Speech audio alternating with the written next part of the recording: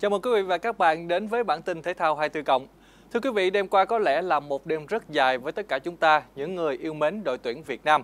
Trước đối thủ Trung Quốc vượt trội hơn về thể lực thể hình, các chàng trai của huấn luyện viên Park Hang-seo đã đưa người hâm mộ đi từ cảm giác hồi hộp, lo lắng rồi vỡ òa cảm xúc.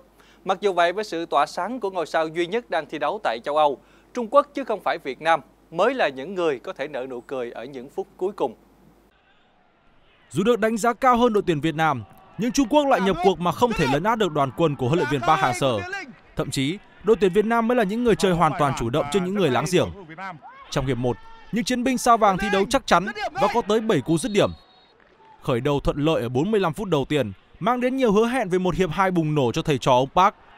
Ấy vậy, khi vẫn đang chơi ngang cơ với đối phương, đội tuyển Việt Nam lại phải vào lưới nhặt bóng.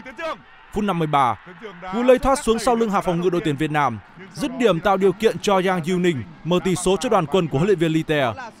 Rồi tới phút thứ 75, trung vệ vào sân thay người Thanh Bình, bất lực nhìn tiền đạo đang chơi cho Esmanyon, xâm nhập vòng cấm rồi đánh đầu hạ gục tấn trưởng.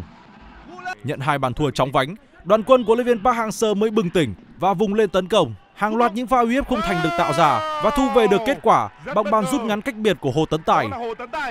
Hy vọng càng lên cao và người hâm mộ quê nhà như nổ tung sau pha dàn xếp tấn công ấn tượng sẽ toang hạ phòng ngự đối phương và được kết thúc gọn gàng bởi tiền đạo Tiến Linh.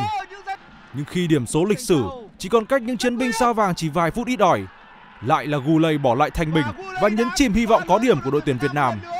Thất bại thứ ba liên tiếp khiến đội tuyển Việt Nam tụt xuống đáy bảng B ở vòng loại 3 World Cup 2022. Và đội tuyển Trung Quốc đã có được thắng lợi. Thực sự, thật sự đã... Cũng tại bảng B, sau hai trận đầu chưa thể hiện được phong độ tốt, Nhật Bản được kỳ vọng sẽ chơi ấn tượng để xứng đáng là một trong những ứng viên hàng đầu giành vé dự World Cup. Mặc dù vậy trước đối thủ không hề dễ chịu là Ả Rập Xê Út, các chàng trai Samurai xanh lại tiếp tục gây thất vọng. Đội tuyển Nhật Bản mang đến gần như đầy đủ các hào thủ ở chuyến làm khách trước Ả Rập Xê Út, có nhiều ngôi sao đang thi đấu ở châu Âu. Những Samurai xanh nhanh chóng dùng lên tấn công để tìm kiếm bàn thắng. Trong 2 phần 3 thời gian của hiệp 1, Nhật Bản hoàn toàn áp đảo đối phương với hàng loạt tình huống nguy hiểm. Tuy nhiên, Yuyu Osako và các chân sút khác của đội khách đã không thể đem về lợi thế dẫn bàn. Sau 45 phút của hiệp 1 chơi lép vế, Ả Rập Xê Út như lục xác ở những phút đầu hiệp 2. Sabasaki cũng chuyền hỏng nghiêm trọng ở phút 50, giúp Abdurrahman Garib có cơ hội ghi bàn 10-10. Dù thất thua, tình huống đó như báo hiệu dân bạo đến với các vị khách. Và quả thực đến phút 71, hậu vệ Hiroki Sakai lại có đường truyền về tay hại. Lần này anh Birakan không từ chối món quà của hậu vệ đối phương và ghi bàn thắng phá vỡ thế bế tắc của trận đấu. Những phút còn lại, đoàn quân của huấn luyện viên Mariyasu dốc toàn lực tấn công. Tuy nhiên, đội tuyển Ả Rập Xê Út đã phòng ngự rất chủ động và kín kẽ để bảo vệ thành công với chiến thắng sát nước 1-0. Kết quả này giúp Ả Rập Xê Út toàn thắng sau 3 trận, có cơ hội rất lớn để vượt qua vòng loại. Ở một trận đấu khác của bảng B, Úc đã có được chiến thắng cách biệt trước đội tuyển Oman. Đội bóng xứ sở chuột túi đã có bàn khai thông thế trận ngay từ phút thứ 9 với pha lập công của Auyer Mabin. Xong, Oman cũng nhanh chóng cân bằng tỷ số sau khi Al Alawi ghi bàn thắng ở phút thứ 28 của trận đấu. Bước sang hiệp 2, đội tuyển Đức mới thể hiện được sức mạnh vượt trội và có thêm hai bàn thắng thuộc về Martin Boy và Mitchell Duck ở các phút thứ 49 và 89 để giành chiến thắng áp đảo với tỷ số 3-1. Ở bảng A, sau hai lượt trận với một thắng một hòa, Hàn Quốc cũng chưa thể làm hài lòng người hâm mộ. Tuy nhiên trong thời khắc mà đội bóng này cần đến sự tỏa sáng của cầu thủ được quan tâm và kỳ vọng nhất, ngôi sao này đã biết cách chứng minh giá trị để một lần nữa là người hùng của xứ Kim Chi. Đội tuyển Hàn Quốc bước vào trận đấu trước Syria với lợi thế sân nhà cùng dàn hảo thủ. Chính vì thế đội bóng xứ sở Kim Chi đã có khởi đầu đầy tự tin và lấn lướt đối phương. Liên tiếp tạo ra những cơ hội nguy hiểm, song bàn thắng vẫn chưa đến với thầy trò huấn luyện viên Paulo Bento trong hiệp thi đấu thứ nhất. Bước sang hiệp 2, đội chủ nhà tiếp tục sự lấn lướt và dùng ép đại diện Tây Á, qua đó nhanh chóng có được bàn mở tỷ số chỉ sau 3 phút bóng lăn trở lại với sự tỏa sáng của Hoàng Inbom.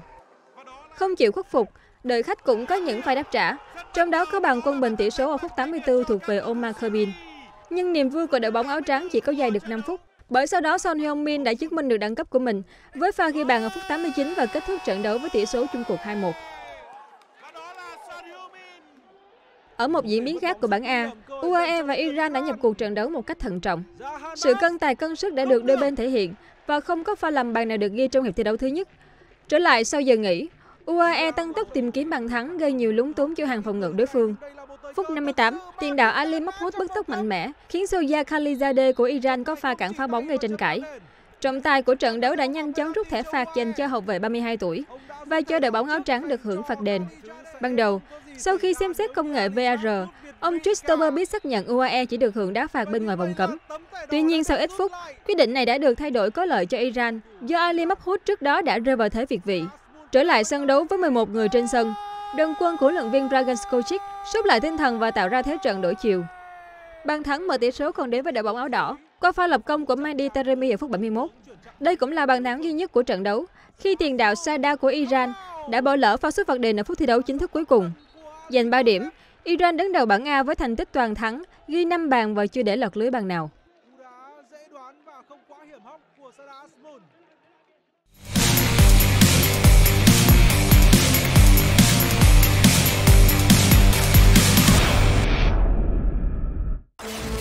Trải nghiệm thế giới thể thao không giới hạn cùng FPT Play.